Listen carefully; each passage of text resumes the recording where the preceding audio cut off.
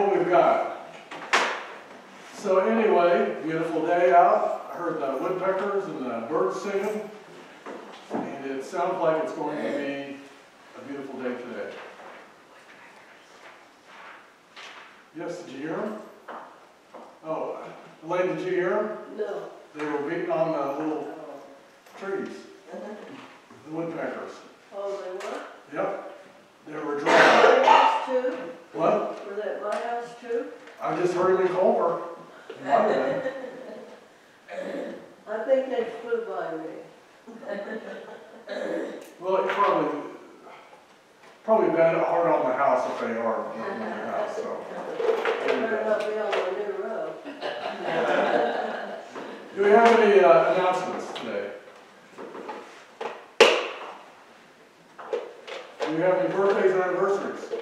Yours. That was last week. Oh, you saw that. That's old news. You missed it. That's all right. That's all right. I, it, I, it's an extended, extended birthday. The party continues. The party continues, that's the way it is. Anything else? Gil, any announcements I'm forgetting?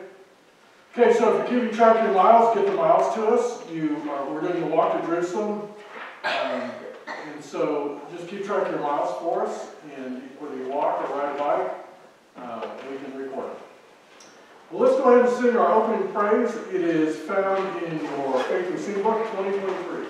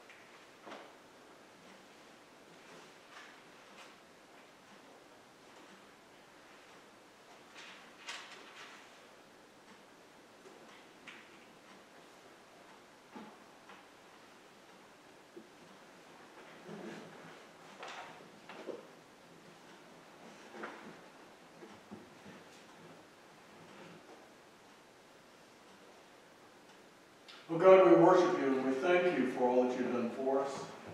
Thank you for the love you've shown to us. And we ask now that you would be with us, be present with us, that we might know that you are here with us and that you love us. We pray that you would guide our service. We ask that you would speak to us in our hearts and speak to us through the scriptures. Help us to take the things that we learn and use them to change our lives, that we might be the children you've called us to be. Thank you for all you're going to do. In Jesus' name we pray. Amen. Our psalm is 121. I will lift up my eyes to the hills. From where will my help come? My help comes from the Lord who made the heaven and the earth. He will not let your foot be moved. He who keeps you will not slumber. He who keeps Israel will neither slumber nor sleep. The Lord is your keeper. The Lord is your shade at your right hand. The sun shall not strike you by day, nor the moon by night. The Lord will keep you from evil. He will keep your life. The Lord will keep your going out and your coming in from this time on and forevermore. Our next song is It is the Cry of My Heart, 2165 in your Faith We Sing book.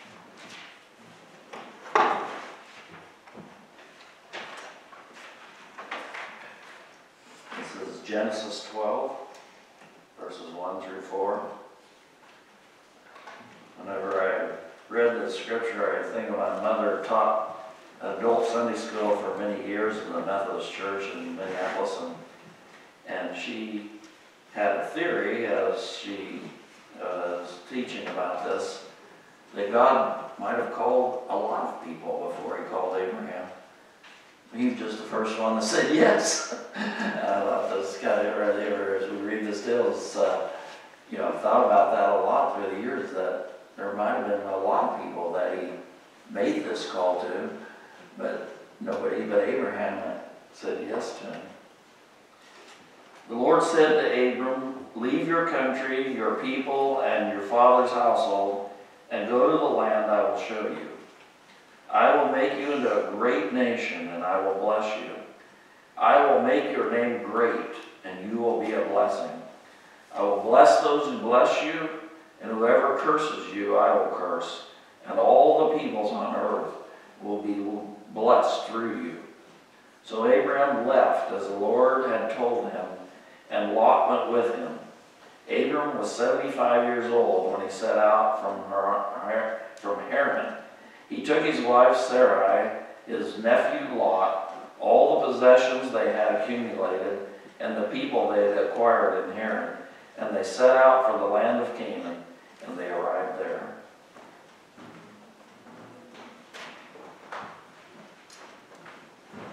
Thank you, Tom. And now we're going to uh, sing an old favorite, The Old Rugged Cross, verses 1, 2, and 4. It's found in your hymn book. Thank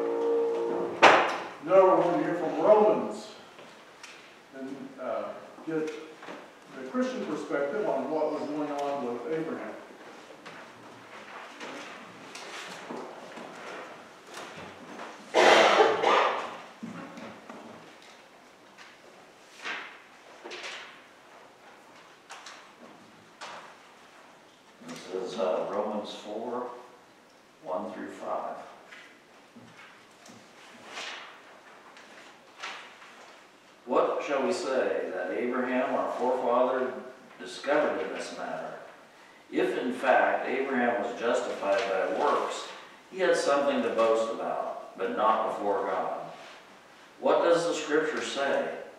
Abraham believed God, and it was credited to him as righteousness. Now, when a man works, his wages are not credited to him as a gift, but as an obligation. However, to the man who does not work, but trusts God who justifies the wicked, his faith is credited as righteousness.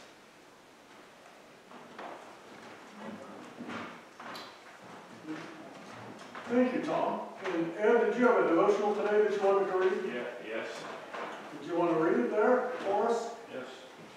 It's, uh, this is- day number, this is from Joyce Myers.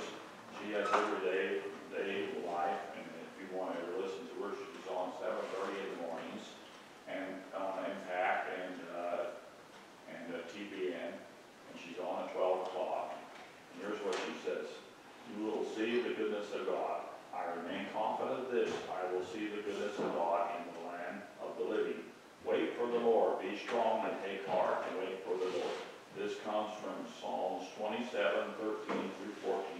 Are you confident that you see the goodness of God during your lifetime? Some people think everyone will be great when they get to heaven, but they fail to expect good things when they are alive on earth. The Amplified Bible rendered verse 13 of this scripture this way, What would you become out of I not believed I would see the Lord's goodness in the land of the Lord? I think the psalmist was saying that without the hope of seeing God's goodness, he would become discouraged and perhaps even impressed. Hope is powerful. It keeps going forward and all circumstances look hopeless. The Bible says that Abraham had no reason to hope, but he still hoped in faith that he would see God's promise come true, and he did. Psalms 14 tells us to wait on the Lord, which means we are to wait with expectation that something good is going to happen in any moment. Expect God to do good things in your life, not necessarily because you deserve it, but because He is good. Be confident that you will see His goodness. And you want me to read the prayer that she has? Yeah, you can go ahead and read that. Father, I am excited to see all the good things that you will do in my life. I wait on you with hope and expectation. Thank you. Amen. And that fits along with the scripture reading we had Abraham, didn't it? Yes. That was pretty amazing. All right, um, it is this time we have our joys and concerns. Um, Plenty of us are experiencing in in the community and in our church family now, experiencing the stomach flu that's going around. and There's other symptoms with that. So let's pray for healing from this. Uh, I know it's really devastated some of the schools. Um, For healing from the stomach virus, Lord, in your mercy, hear our prayers. Well, there's also some COVID-19 coming into uh, now.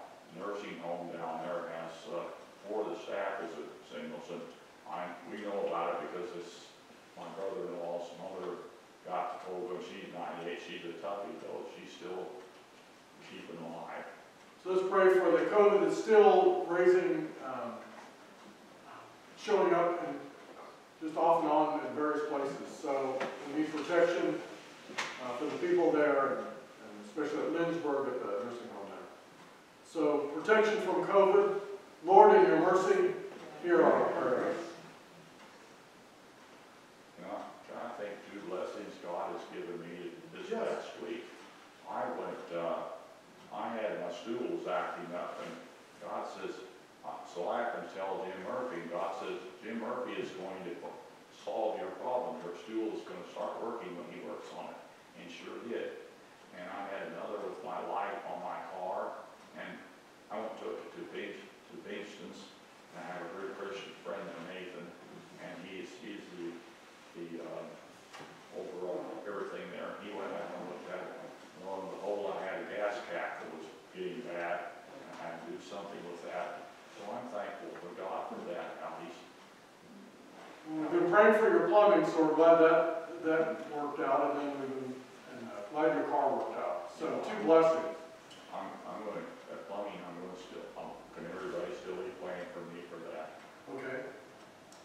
Uh, But so far, we're, we're, we're better off than we were. So, uh, prayers for, uh, prayers for continued uh, help for Ed and, uh, and thanks for what he, God has done so far. Lord, in your mercy, hear our prayers and our praise. Thanks. Anything else?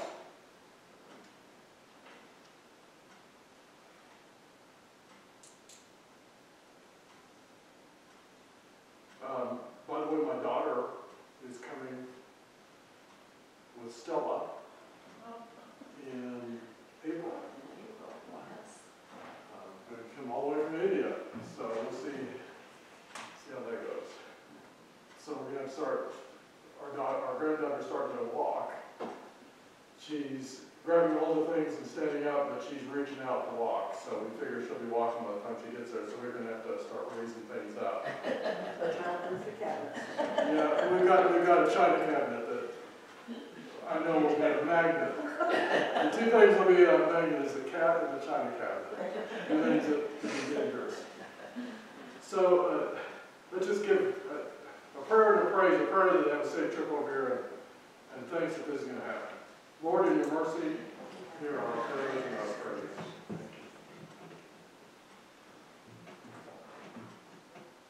I'd like to say praise God that my wife's doing a lot better. Thank you, that's some things that actually are helping.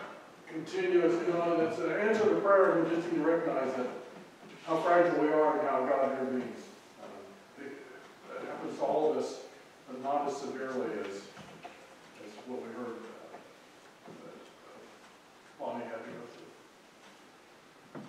So to answer the prayer for healing for Bonnie, Lord, in your mercy, hear our praise and thanks.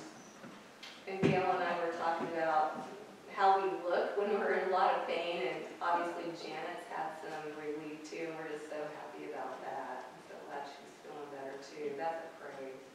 Let's give praise for all the healing that's taking place. We've, we've prayed for healing to take place in other situations, but when it happens, we need to give thanks to God because He does do great things for us. So for all the healing that's taking place, Lord, in your mercy, hear our praise and thanks. Anything else? I thought immediately about how you're always talking about how God is intervening in our lives and we don't even recognize it uh, a woman tried to kill us on our way to oh. Slot yesterday and tried to pull off of an exit without, you know, she must not even looked in her mirror and I had cars over here. And I was able to steer around her and ram on the horn and you could tell she just come out of a daze and you like just barely missed us and I was like, you know, immediately thought of your prayers and you're talking about how about, you know, sometimes our life is just hanging in a little thread, you know, and just thank God when, you know, you're not in the hospital this morning. Well, we're going to 80, and we don't realize how fast that is till something like that happens. 80 miles an hour off on those highways, and sometimes more. So let's give thanks for God's interventions that we don't know about. We're giving thanks for things that we know about, but when God, and this is an incident where we know about it, but um, God protects us many times and we, we fail to give thanks. Let's give thanks for that right now. Lord, in your mercy, hear our praise and thanks. Anything else? We're good. We're glad we're, we want to make God real in our daily lives, not just when we come to church, but um, all, all throughout the week. So I appreciate this witness to that. Um, our hymn is found in our hymn book, 472, Near to the Heart of God. Thank you.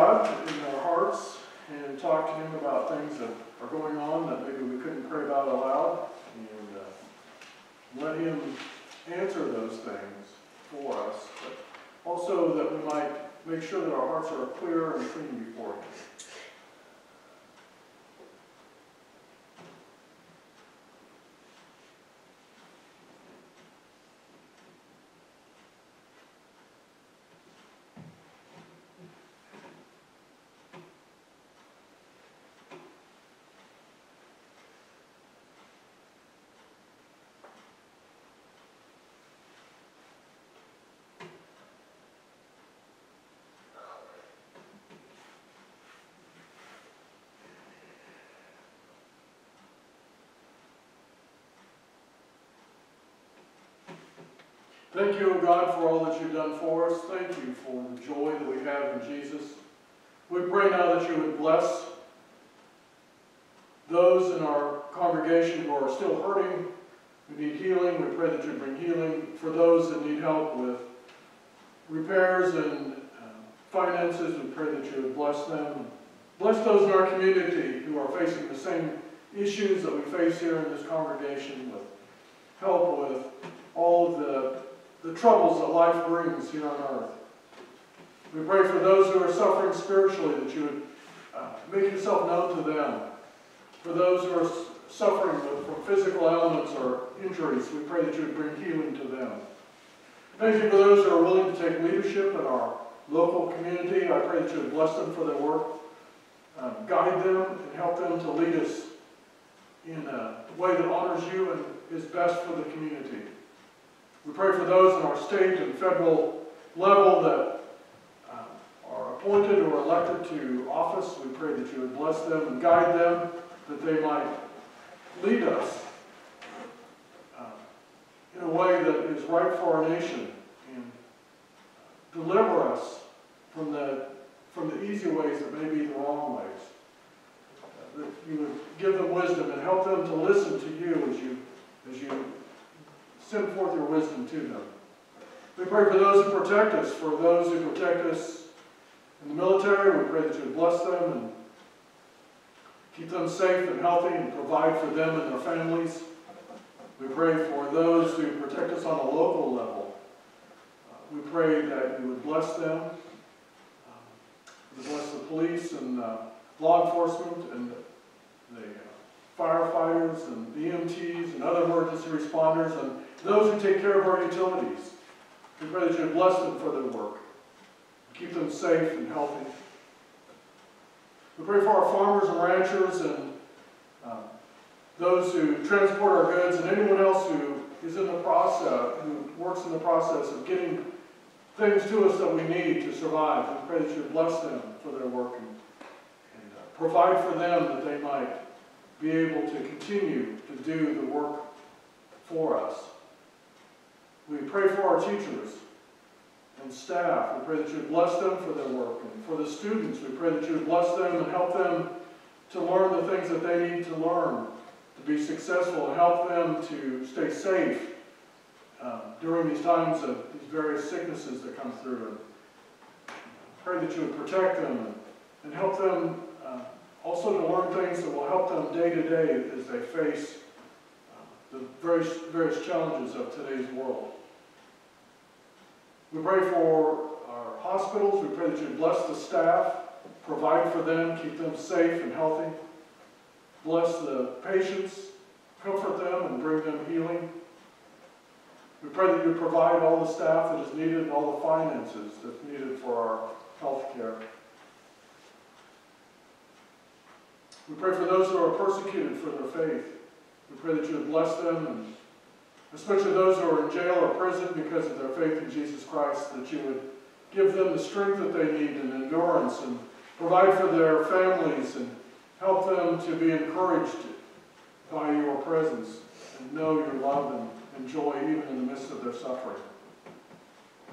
We pray for our missionaries that you would bless them and provide for them and help them to reach uh, people, especially in lands that are difficult to get the gospel to. We pray for those who are incarcerated. We pray that you would bless them, uh, show your love to them, and help them to be reconciled to you and to their families and to their communities. And now we would pray together the prayer that you taught us. Our Father, who art in heaven, hallowed be thy name. Thy kingdom come, thy will be done, on earth as it is in heaven. Give us this day our daily bread, and forgive us our trespasses, as we forgive those who trespass against us. And lead us not into temptation, but deliver us from evil.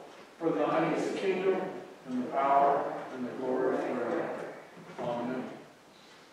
At this time, we'll receive your offering.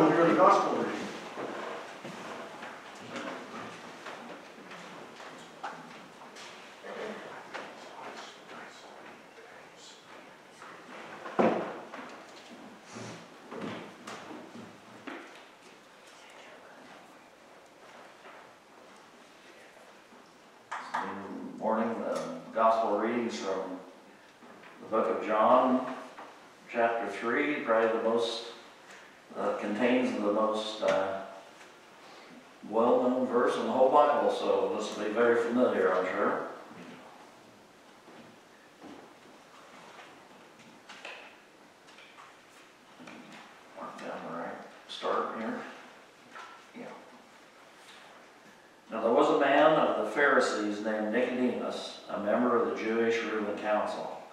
He came to Jesus at night and said, Rabbi, we know you are a teacher who has come from God, for no one could perform the miraculous signs you are doing if God were not with him. In reply, Jesus declared, I tell you the truth, no one can see the kingdom of God unless he is born again.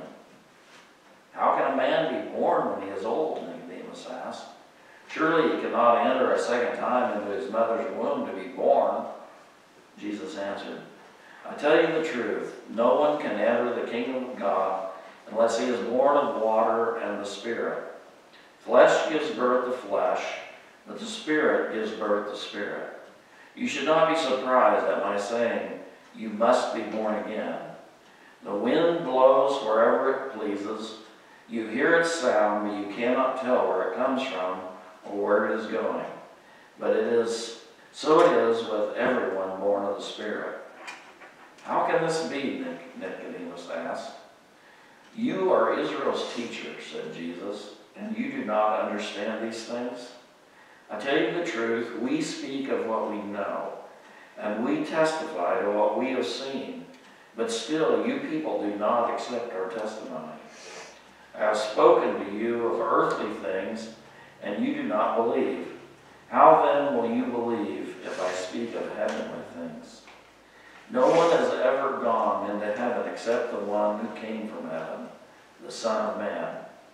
Just as Moses lifted up the snake in the desert, so the Son of Man must be lifted up, that everyone who believes in him may have eternal life.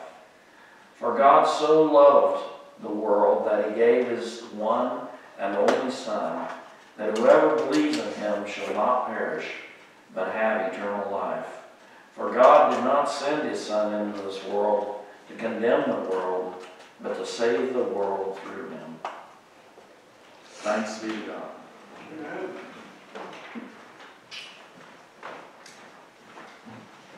Thank you, Tom. It is the word of God for the people of God, and it is for us to give thanks for.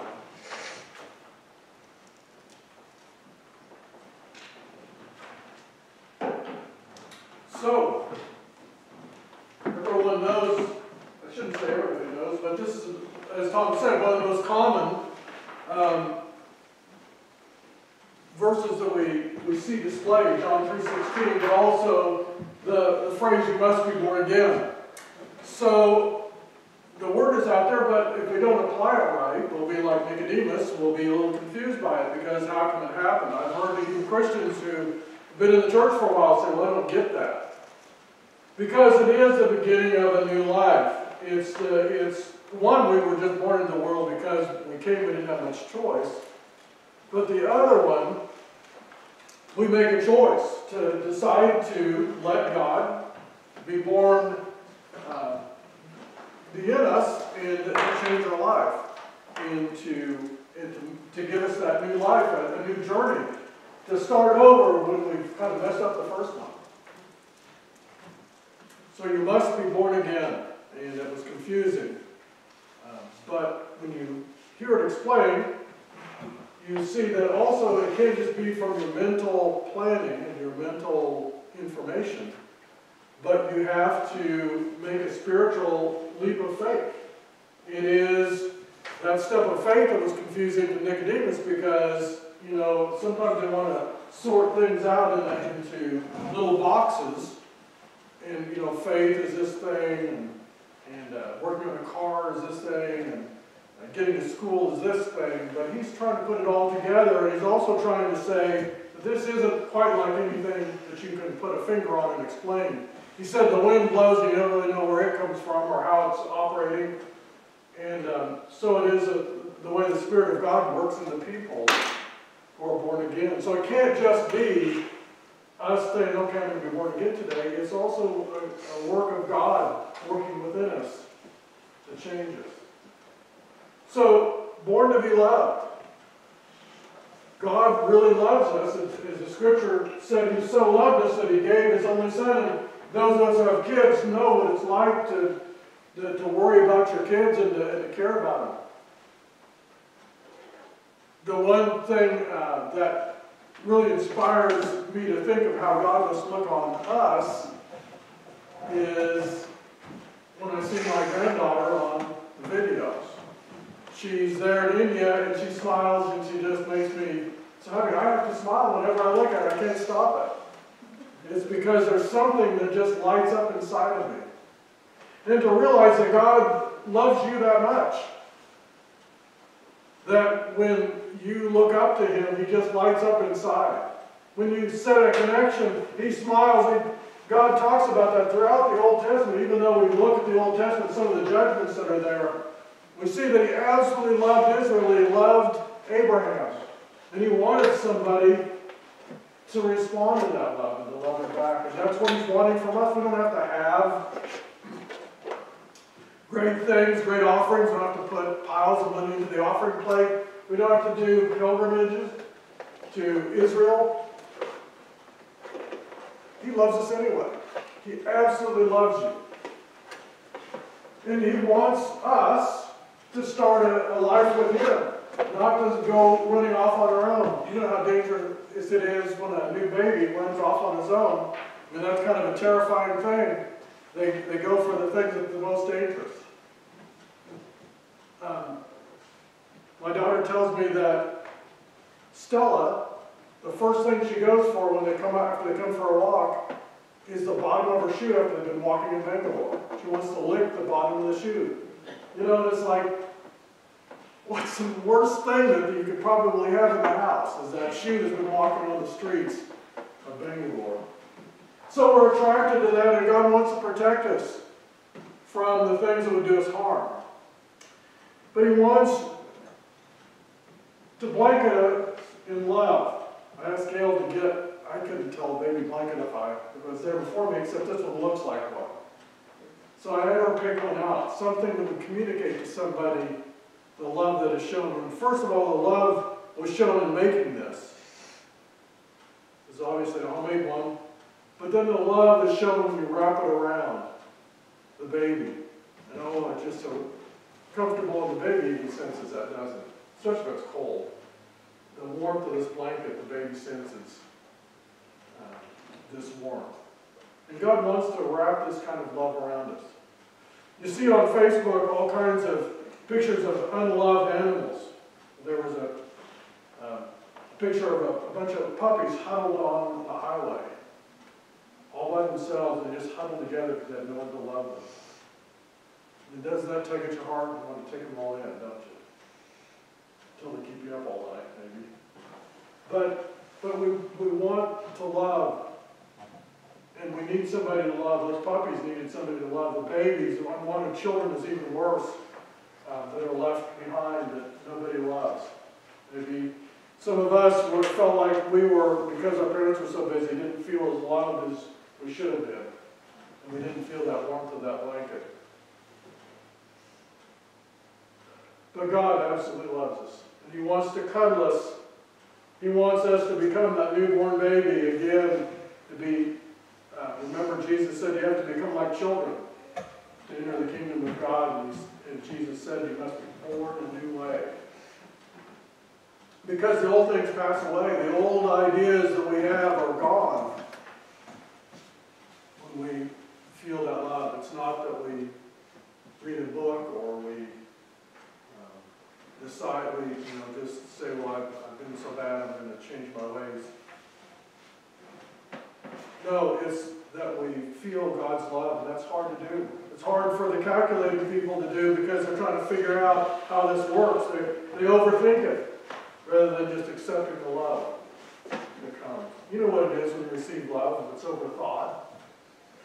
Maybe it's not as, as good, if it doesn't come from the heart. Those of us who, men who go through Valentine's Day, Lord, you can't just figure out a formula for making somebody happy. You can't just say, well, if I do this and this, then she'll be happy. That it, they really want something from the heart. That people want something from the heart on Valentine's Day. And that's a symbol for us that we should receive something from the heart. And God showed his love to us, not in a way that we would think, not just this blanket, but he also showed us, because of our sin, that he had to, to do something harsh and um, something that was dreadful and painful in order to get rid of the sin so that we could be born anew. And that was that Jesus died on the cross for us. And we're going to talk about that. We're going to celebrate this. This is a celebration for what he did, that he loved us this much that he gave his only begotten Son, which is symbolized by our communion today. So this is meant not just to give us a mental ascension that, oh yes, he died for us, or a historical moment that we recall, but a moment that changes us. And so every time we take communion, there's nothing, it's just bread and it's just wine, and just grape juice.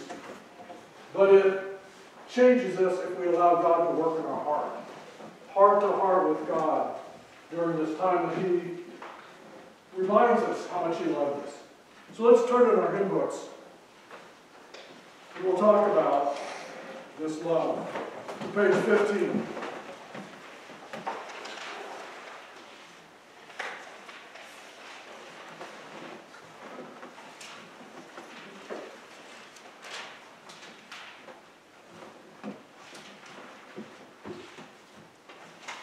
The Lord be with you.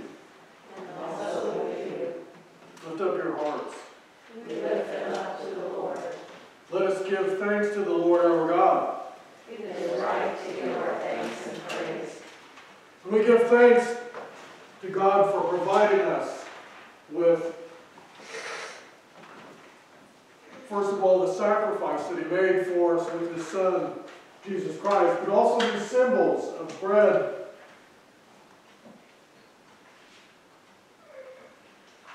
and of the grape juice that represents the wine, or it might be called new wine. That He gave us these gifts, and so we're thankful. We thank God for them. He gave us these gifts that they speak to us and speak to us in a very real way. Thankful that, that the sacrifice was made and that God dwelt among us and then brought us salvation.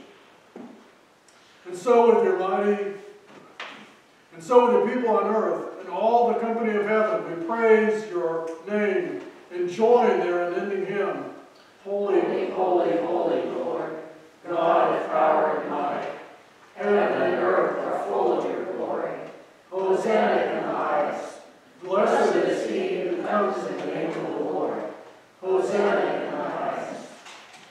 So we remember that Jesus, on the night that he was to be, be betrayed,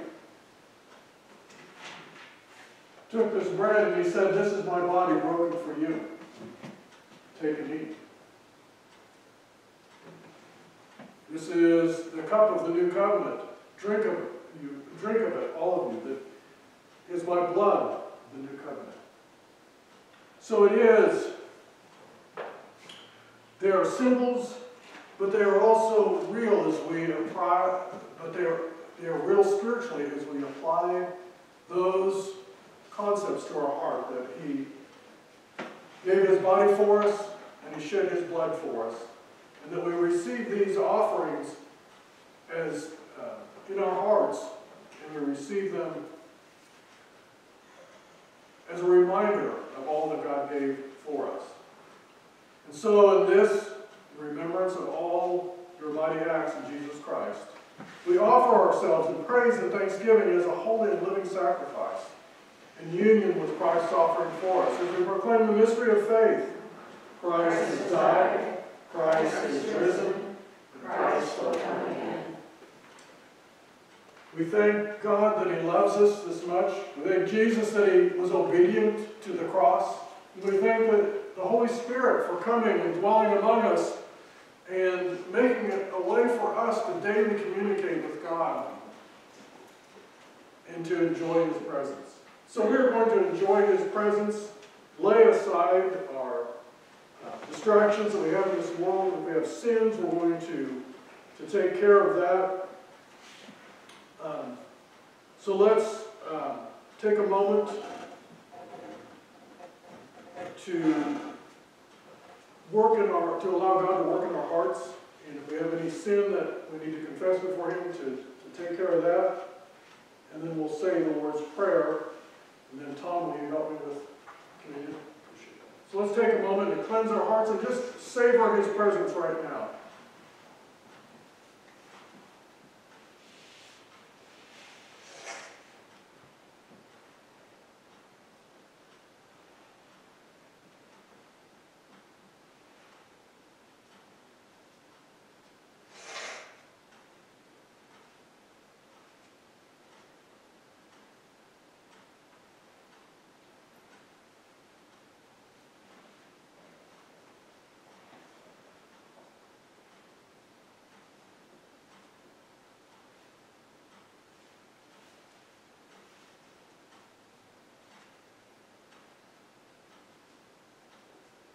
Let's pray. Our Father, who art in heaven, hallowed be thy name. Thy kingdom come, thy will be done, on earth as it is in heaven. Give us this day our daily bread, and forgive us our trespasses, as we forgive those who trespass against us. And lead us not into temptation, but deliver us from evil. For thine is the kingdom, and the power, and the glory forever. Amen. In the Methodist Church, the communion table is open to everybody. So you're welcome to come because it is a means of where we experience God's grace not all of us can understand what communion really means. In fact, I don't think any of us can completely understand the, the wholeness of what Jesus did for us on the cross. But we can given us this way to participate in his sacrifice that's made for us and to internalize the love that God has given us. So let's uh, come and we will take part. It's on the other side, you know. Oh. Bill, was hiding that she was